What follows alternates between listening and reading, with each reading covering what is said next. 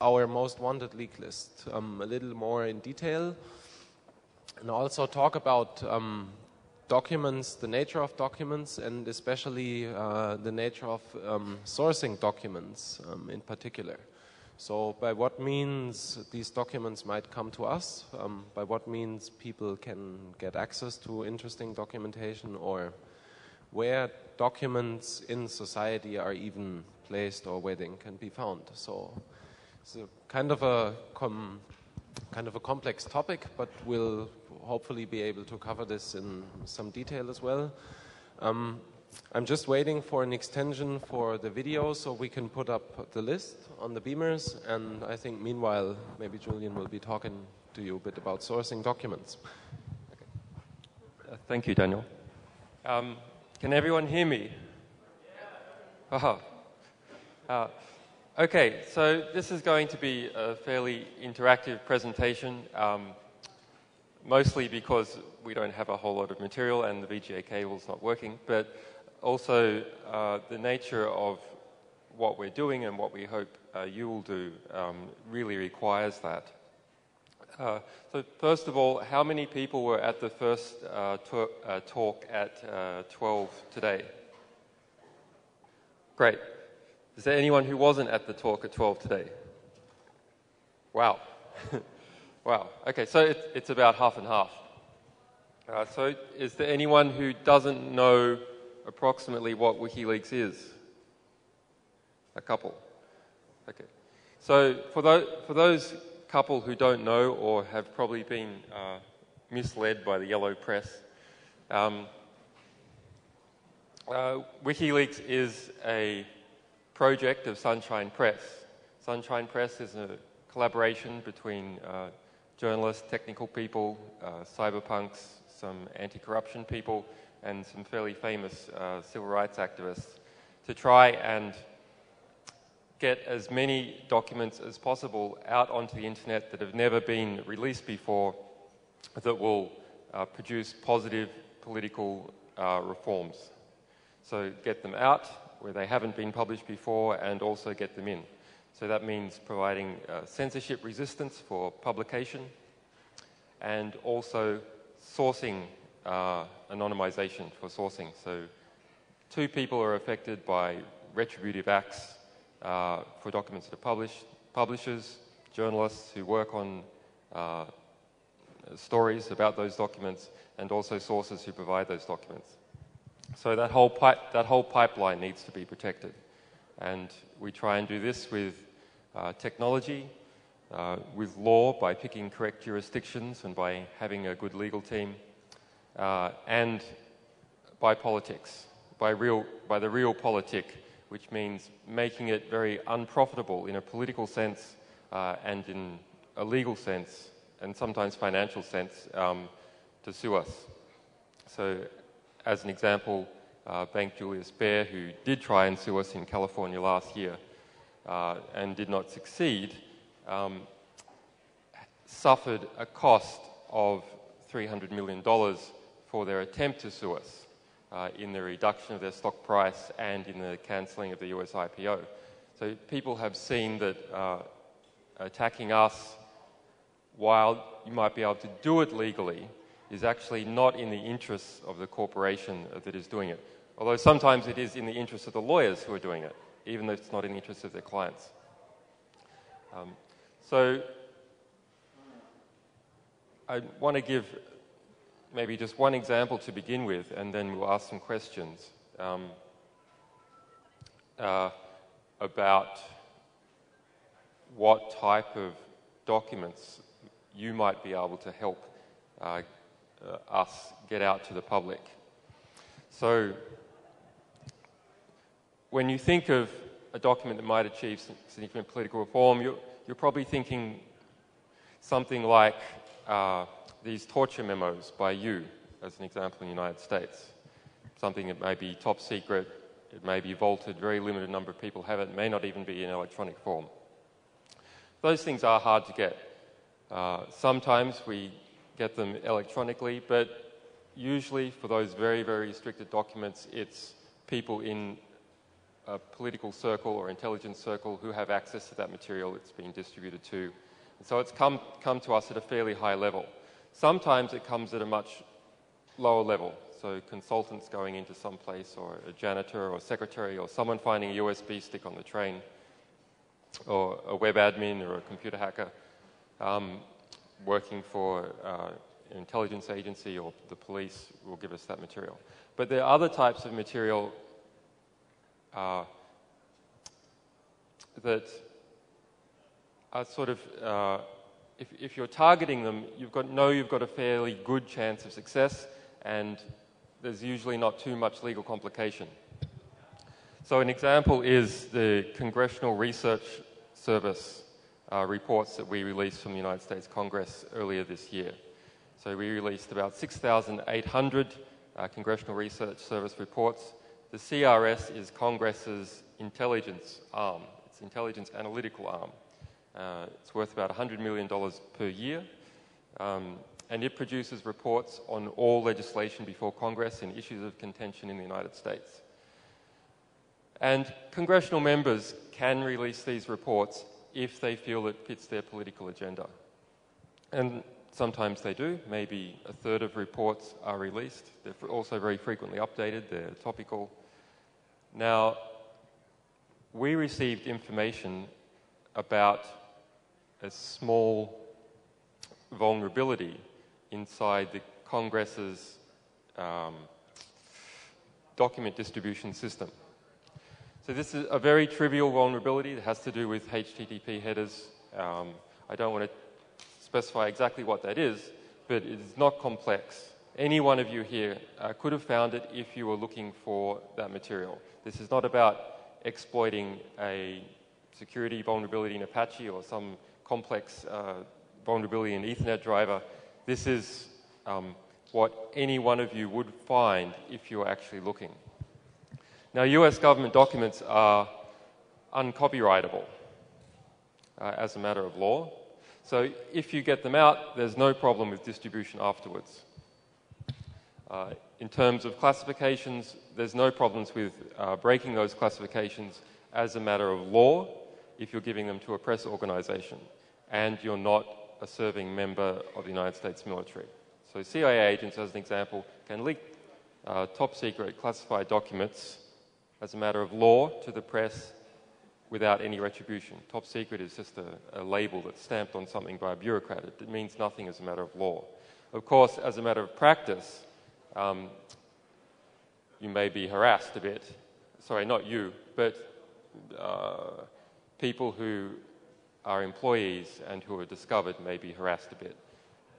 But there has actually never been a successful case of prosecuting someone in the United States for leaking a top secret document to the United States press, uh, including uh, that of Daniel Ellsberg.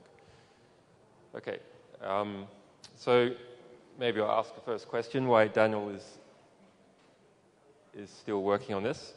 Uh, so a question uh, about sourcing. I should say that uh, I am a journalist and I've had many years of experience in dealing with uh, secret documents from all around the world and protecting sources. I have never lost a source to my knowledge. Um, WikiLeaks has never lost a source to its knowledge. Uh, so it's actually a lot easier uh, than many people think. You hear about uh, all the cases that fail. Whenever you see in the newspaper, maybe the first third of the New York Times on a good day is actually all based upon leaks. And you will just see documents seen by the New York Times. And no one actually thinks, no one imagines in that head that behind documents seen by the New York Times is actually a source of some kind that has come forward quite successfully and then gone back on with their life or uh, enjoyed their, ma- their moment of fame, um, but privately. But when someone is caught, uh, on those rare occasions, then of course it becomes a bit of a cause celebre. So that's what sticks in people's head. But sourcing is actually incredibly safe, um, in my experience. Uh, okay, so uh, question.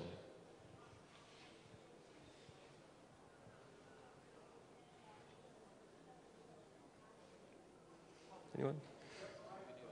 Okay, I, just a second. Sorry, the, the video is up. So uh, for those people who weren't at the talk earlier, uh, I was approached last year by a Dutch IT consultant who said, "We really want to help you get this material, and I have access to a lot of I have access to a lot of stuff, uh, but I don't know which stuff is going to have political impact, and which stuff journalists are interested in.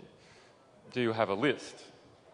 And no, we didn't have a list, and we thought we would uh, try and make a list. And uh, so we, I asked around and uh, got our, uh, our, other people to ask around uh, human rights lawyers uh, in the third world, um, journalists in Europe and United States, and a whole lot of activists who, internet activists who nominated material, a lot of censorship-related material. And we put together a list of material that these people want and have gone through it and, and tried to organize it. Um, so that list is a, a, great starting point for anyone who doesn't know uh, what to look at or, or, where to look for it. Um, an example that is on that list that, okay, can't see here, for the United States, um, these, these big document repositories, uh, like the CRS reports, which is about a, a billion dollars worth of reports that we release for CRS. Uh, so uh, in distributing that to the world, if you like, we have uh, released a billion dollars worth of public intelligence to the world that has then gone on to be used everywhere. Um, funnily enough, even the State Department doesn't have access to the stuff by Congress. So all the time we see links and referrals coming in from the State Department, from, from embassies around the world in the United States. Um, so another example, like that CRS list, uh, good material, is the CIA runs an open source, what it calls open source, which is very different to what you guys mean. But by the intelligence agencies, when they say open source, what they mean is uh, we didn't steal it.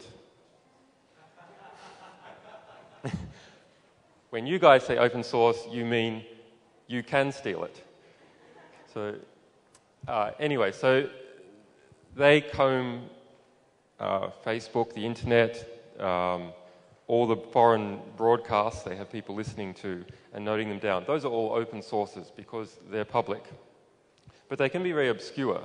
And CIA analysts are then paid to analyze these open sources and pull together information.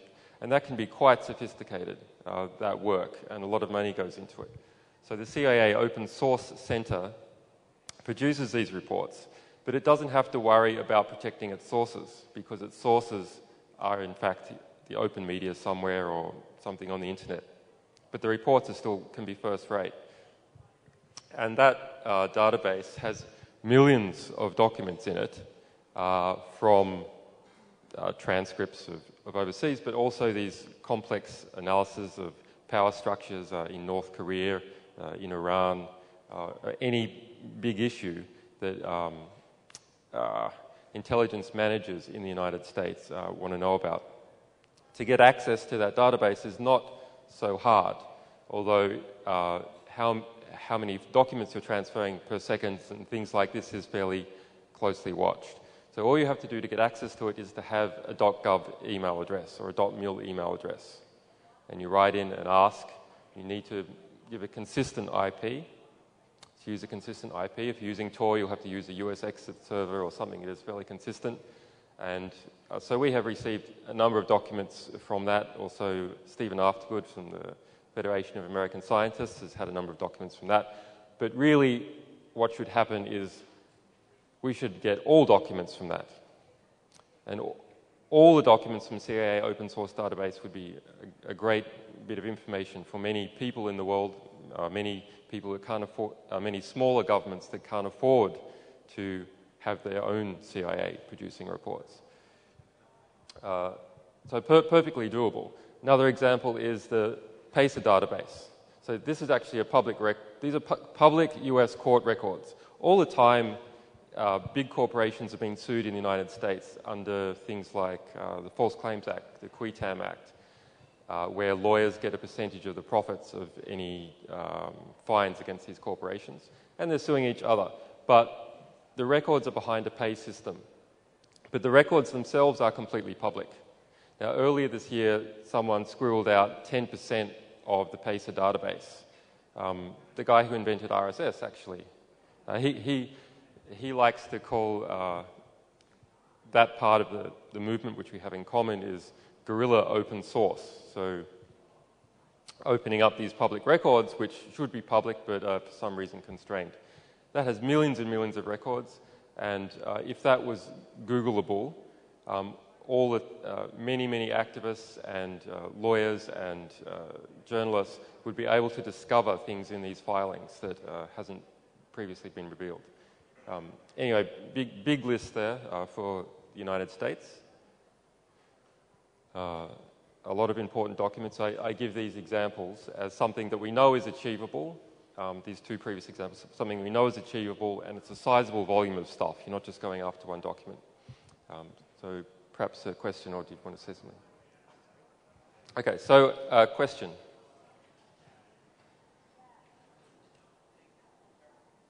Uh, just a comment on the Pacer database. Um, I had a, well, anybody can sign up for an account, but you're right, it does cost money to download those files. Uh, with the bankruptcy court filings, they used to have social security numbers of people in those bankruptcy filings, and I pulled down you know, a bunch of it. I don't know if it's censored at this point, but that was all public record. Yep. I'm not sure what the, the question was. Comment, okay. Um, another comment or question?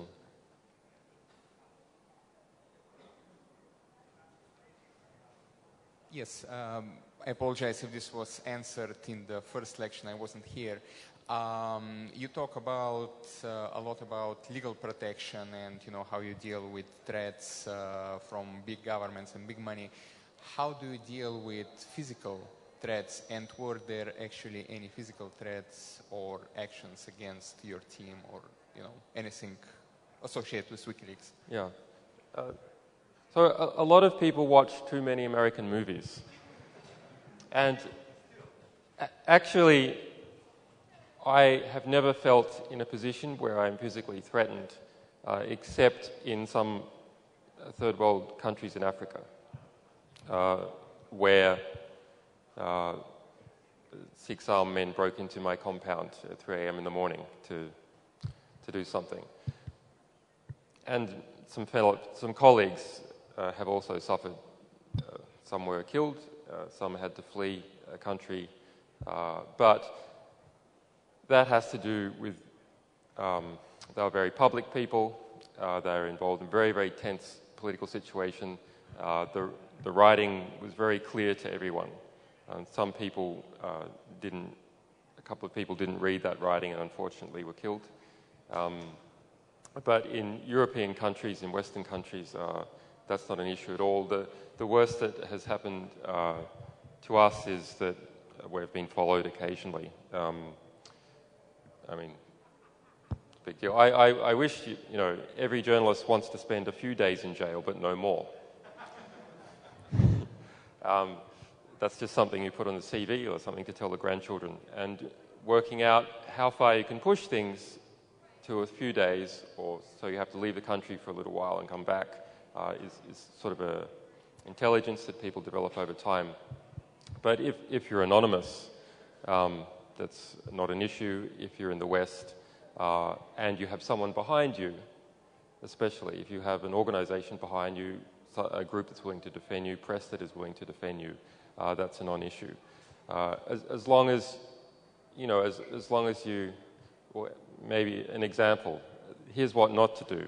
So we, we had um, a guy, son of a Tennessee Democrat, um, uh, son of a Tennessee Democrat, uh, who hacked Sarah Palin's account uh, using a password reset. Actually, a lot of people criticized this guy for, you know, this was a trivial hack, anyone could do it. But actually, only he did do it. So he had enough political sense and uh, the will to do it that he did it. Now, of course, then this was a very young person, and they immediately went and told 4chan all about it under their real name.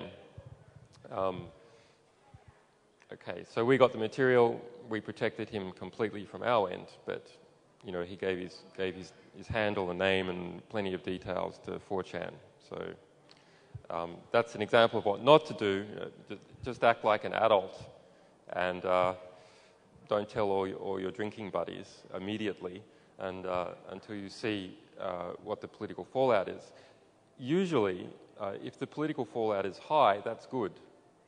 If you reveal the matter that exposes some injustice, that's usually good.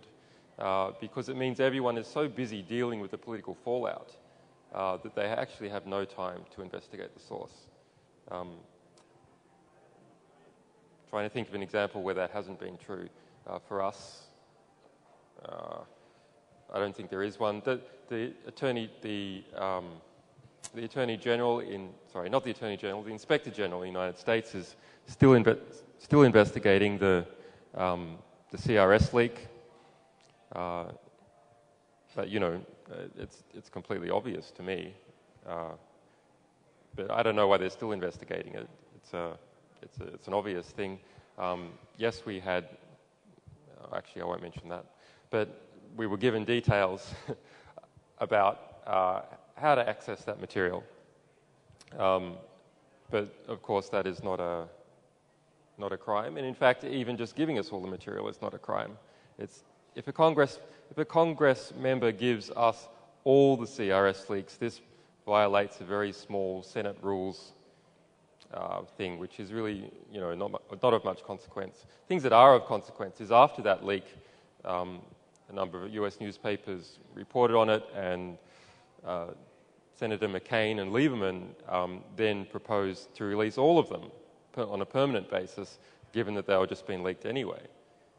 Uh, and that would actually be a great outcome. That bill is still before the Senate, and we'll see what happens.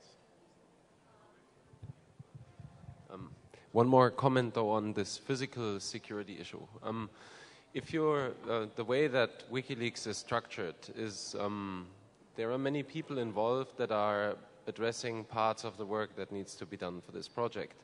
And then there's a few people that have an, that, are, that appear on a stage somewhere like here. So maybe these people have a slight higher public exposure, and if there would be physical threats, these people would have to live with that. But I guess anyone who thinks more than two minutes about engaging into something like this would realize that there are many more people involved that are still doing this work. So it wouldn't really help intimidating anyone or threatening any single person. Um, it would actually just blow back in your face because you would, I mean, it would become clear maybe who is uh, pressuring someone. Um, this would get publicity, you would maybe have to defend yourself, be very careful about how you approach these things. So it, it wouldn't really make any sense, at least from my perspective, to put anyone into any physical trouble. And I'm, I mean, I'm not really scared of, of anything in that respect. So, and, and the whole project is structured in a way that no one that is public can be compromised, that then would compromise the whole project in a way that it ceases to exist or cannot be continued anymore or anything similar to that. So I, I think that was what your question was aiming at. It's also uh, psychologically very important if you're doing this that you do not show that fear or you do not you do not promote that fear to others. That's a very important part as, as well in respect to talking to all of you whom we would like to motivate to do some useful work maybe, um, as well as to all the sources we have that put much more uh, on the line in some cases than, than we do. Uh, so for us, maxi it's maximum some legal trouble. That is a little uncomfortable, I guess, but for someone who is risking his whole career path or maybe the stability he can offer for his family, by doing something for them, it's a completely different story. So the focus has to be to protecting these people. And that's where also, I guess, a physical end is more important than with what we're doing. Is there any question? Ah, yeah. Yes, I'm a German journalist. Uh, sometimes uh, um, receiving content which might be of interest from WikiLeaks. Why should I choose WikiLeaks instead of, uh, let's say, um, a German um, coalition like uh, Chaos Computer Club, which is always receiving documents and uh, freeing them anonymously. Okay, so um, there are a couple of aspects to this question. Uh, the first question is um, um, in respect to whom to publish with. Uh, if you look at what Cryptome, for example, is doing, which on some level might be similar to what we are doing as well. So it is a long, they have a long history of publishing information that partly has been withheld from, from the public. So the problem is that um, most websites that might publish this material in fully would not really be able to promote it to, to the media, to the public. Um, these organizations like the Chaos Computer Club are not they are not existing to actually actively bring material into the public and make sure that it receives attention and that it also um, receives the impact it deserves. So that might be one point why it's different publishing it with an entity that is journalistically oriented rather than just with an entity that might be interested in the subject. Um, the second point, um, in general is that uh, what we are doing is we're aiming at making sure that the material we publish remains online for the public as a publication for eternity, basically. So, um, in the long run, that's the goal we are aiming at. So, um, the Chaos Computer Club, or I mean, I, I think the Chaos Computer Club is maybe a bad example, but any other entity that is not specifically there as a publishing entity might not share the same value for keeping this information online in, in the same way that you would like to see it online. So there surely are many ways to publish material, but from our perspective, especially if the material is anyhow um, problematic for you as a source, it's very important that it's done right and that people take care of a lot of detail that comes along with such a submission.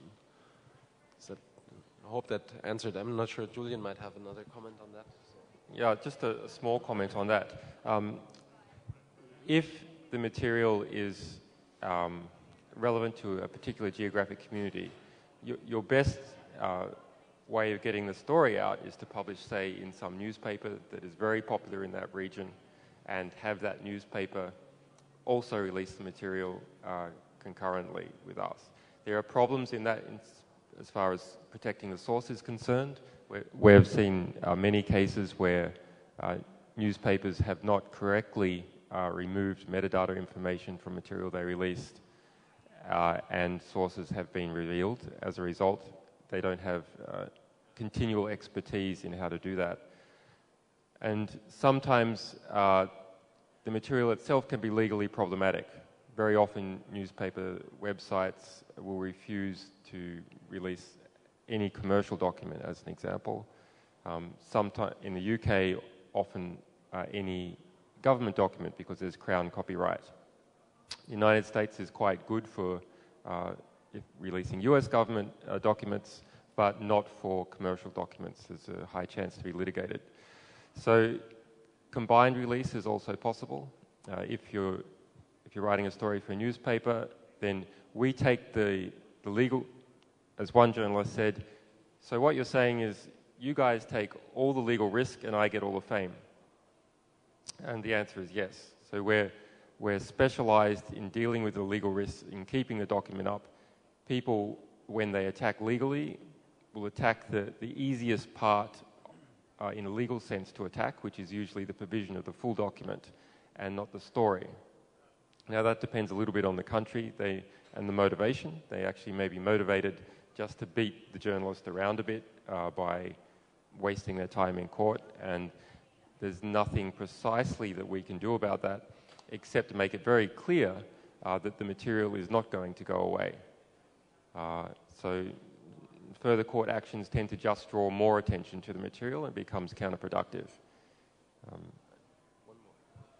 and, um, maybe another side comment that also comes uh, comes in with this topic, I think. Uh, what we would like to ultimately promote is that journalists in general, um, at some point in time, release their sourcing material with us. At least everything that is not so confidential that it would really, or so critical um, for the source protection that it cannot be released. But in general, we think that it would be very good for the media if um, source material was disclosed at one place in full so that every journalist can also be independently verified on his story.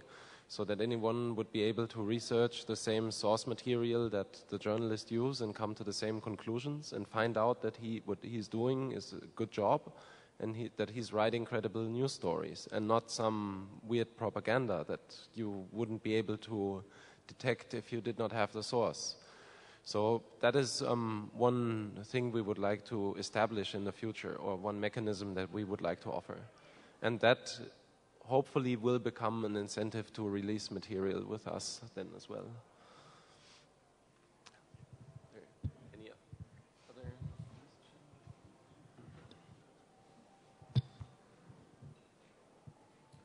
Hello. Uh, do you have any material from China or Russia? And do you have personnel who know Chinese or Russian to evaluate your material? I didn't hear the second Um, part of the question. Uh, uh, do you ha- and do you have uh, people who know you know other languages like like Russian or Chinese to evaluate your material, or are you just working in you know these Western languages? Yeah, so we, we do have contacts with people that know a variety of languages. Uh, so often, if we get an important document in, we will uh, find someone who knows that language. Sometimes that can be quite hard. Uh, so, and we do have documents in Chinese and Russian, uh, some very important documents uh, in Chinese. As an example, all the censorship keywords used by Baidu, which is the Chinese Google, censorship keywords used by state TV, um, censorship political logs of what things need to be censored uh, and who needs to be contacted, um, uh, propaganda activities related to the uh, 60th uh, Chinese Communist Party um, celebrations that are coming up. But yes, we need uh, more people with um, non-European languages uh, involved at a closer level. Uh, so they can be continually consulted. At the moment, it's a, it's a process of reaching out to friends of friends uh, who might know that language. Um, and uh, we also need help with uh, additional translations of um, uh, the website itself, how to use it, uh, and for sourcing. Um, that can also be an issue when people are trying to source material uh, from a foreign country and they don't know the language. Um, that can often pose significant uh, barriers. Um, there are many, there are many uh, former colonies, however, that do speak uh, European languages that are not part of Europe, and we've seen a lot of documents for, from those um, which have been partially smuggled out by uh, Europeans.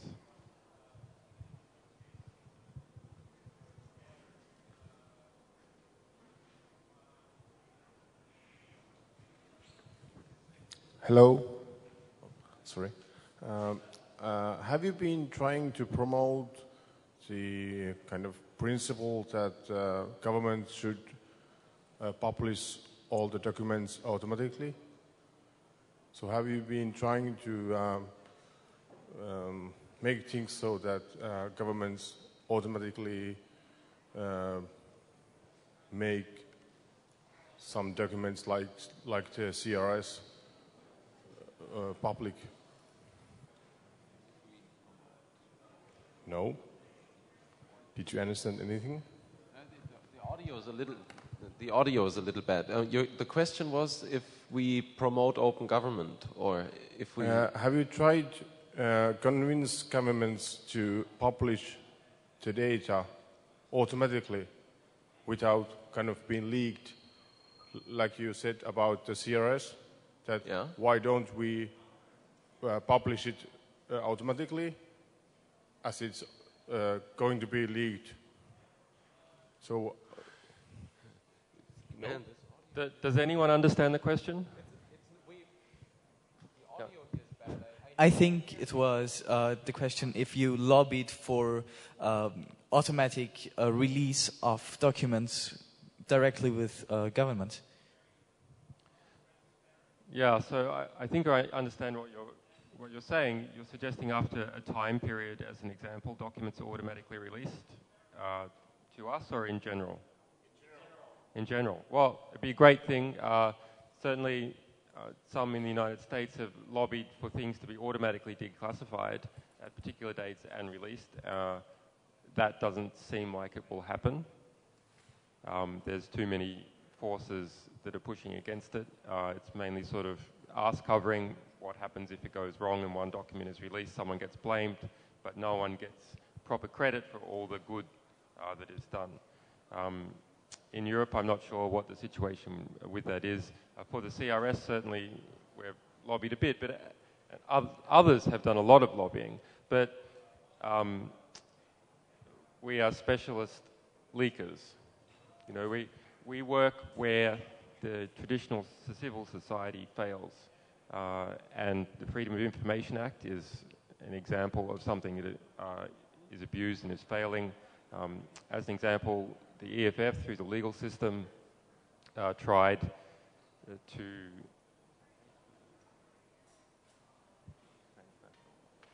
there's a, there's a transnational um, treaty that has been plotted over the past two years in relation to copyright, ACTA. So we released the first documents about ACTA. It was not on the political agenda at all of any activists in this community or uh, in uh, developing world patent medicine. And the EFF then tried to FOI that material. Other groups tried to FOI that material in the United States. It was uh, classified as a national security secret, even though it's just a copyright treaty, uh, un- under the basis that uh, United States copyright holders' positions might be marginalized in the negotiations and they wouldn't make as much profit. Uh, and the EFF uh, just uh, one month ago gave up on that case uh, because it was their legal belief that this, the state saying that something was a national, a matter of national security was extremely hard to break because the court wouldn't be happy to open the document to see if it was as a matter of national security. So this, it is important to attack uh, with two prongs. One prong is provide an official, if you like, leak system, which is the Freedom of Information Act, and then also, on the other hand, the unofficial system, which is people engaging in civil disobedience um, and smuggling out material that's been withheld uh, from legal restrictions or just bureaucratic, uh, bureaucratic restrictions. To some extent, things like the Freedom of Information Act are there because um, if you don't legalize it, then it, will all be done in, uh, uh, shouldn't say illegal, but in a, in a, in a way that is not uh, managed by the law. So the more leaking there is, um, the more aggressive leaking there is, the more things like the Freedom of the Information Act are empowered.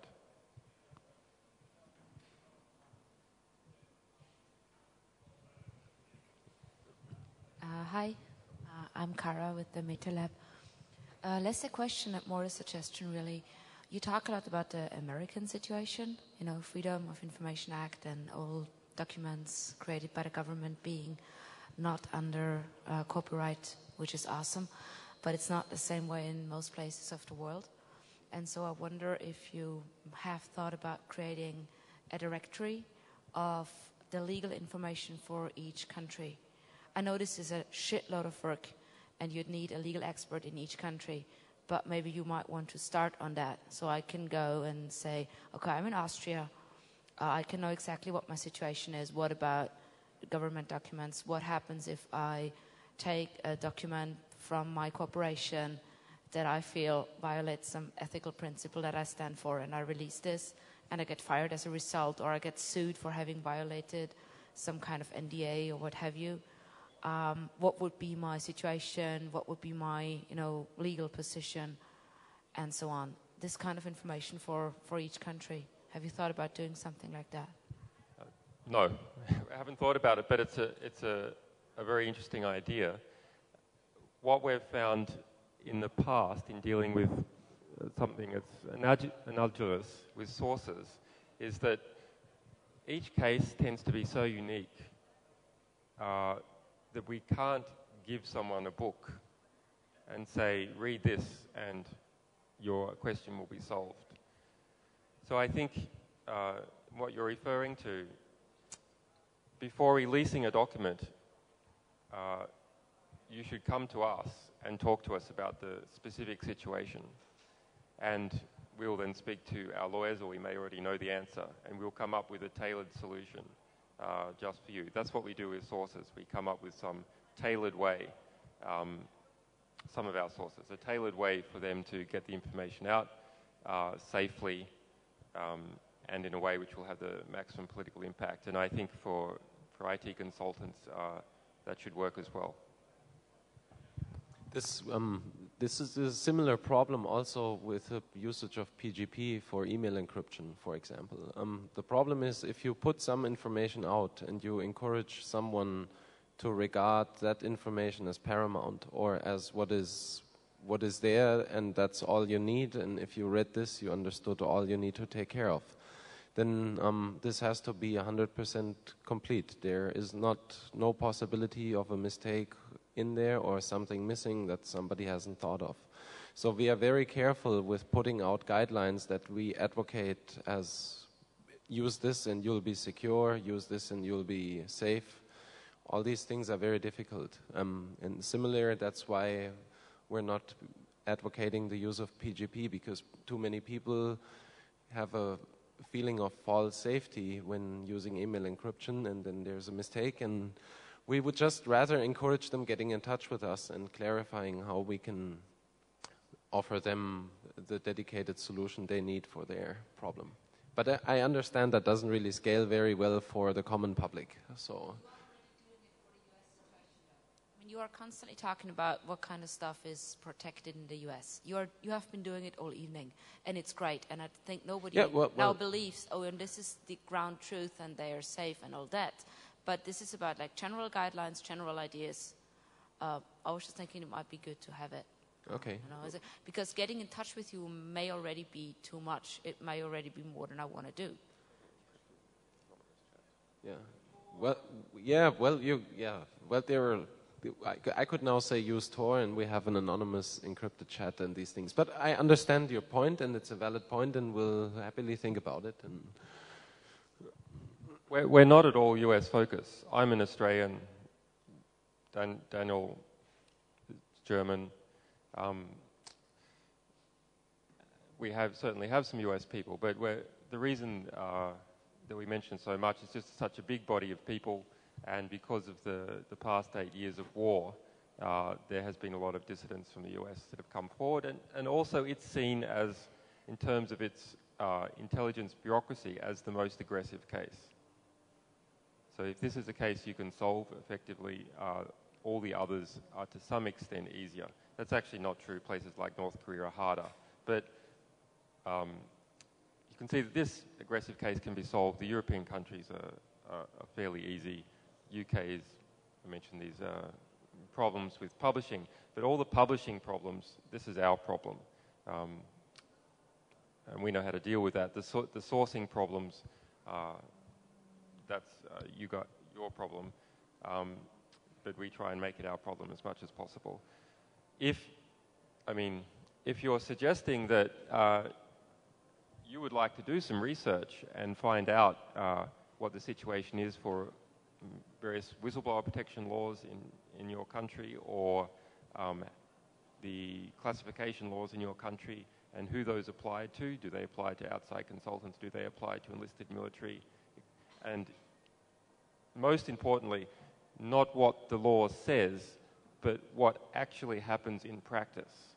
Because the law is just a piece of paper, and it's, it's what uh, the precedents and communal values and the expectations of society uh, are that defines whether that law uh, becomes more than a piece of paper to individuals in that society. Usually it's just a piece of paper because the realpolitik constraints are such that it can't be used. Uh, okay, we already had the yeah. There are two minutes left. I guess we'll if there's one more um, urgent question or any other questions, we'll be around anyways um, in the next few days. So thanks for your uh, interest for coming here tonight, even though it's so late and cold. Um, we brought some T-shirts. Whoever wants to buy one, we'll have a few for sale here, or the rest at the tent. I just hope I don't have to drive any of them at home again. So. Uh, thanks again, and everyone have a first nice evening at HAR. Sorry? Sorry? T-shirts, uh, medium, large, extra large, and girl shirts. Sorry. Uh, 20, 20 euros. 20 euros. It all goes to a very good cause. Yes.